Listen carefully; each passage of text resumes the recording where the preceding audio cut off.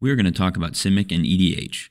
The Simic Combine was led by a dude named Momir Vig, then Zegana, and now Vannifar. The color pairing of blue green is known to have all the creature types under the sea serpents, krakens, leviathans, and has come to contain mutants and merfolk. Simic combines the powerful ramp of green and the control and card draw of blue while being able to throw down huge creatures from the deep. Simic spells usually find a way to draw cards and ramp at the same time, like Growth Spiral and Urban Evolution. Simic can also sacrifice things to find other things, with cards like Neoform and Prime Speaker Vannifar, and it can lend itself to some plus one synergies with Zegana and Vorel. Some really great Simic commanders to include Aesi, Tyrant of Gyre Strait, who doesn't want to play more lands and draw more cards, Kumena, Tyrant of Orazca, for all your merfolk needs on one card, and Edric, Spymaster of Trest, to encourage combat and get the game moving. I'm your friendly neighborhood blue mage, Azoreign. And today,